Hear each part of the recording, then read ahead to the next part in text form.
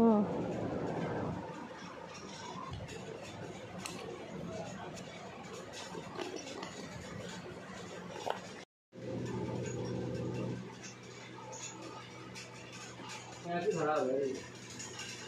उसे मिर्ची जी काटती है उसके बाद काट रहे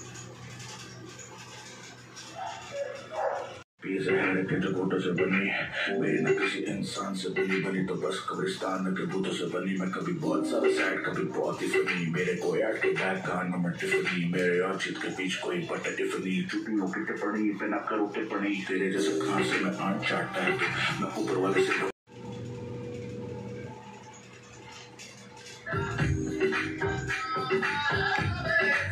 अरे अरे अरे अरे बिल्ली तोड़ रही है बोले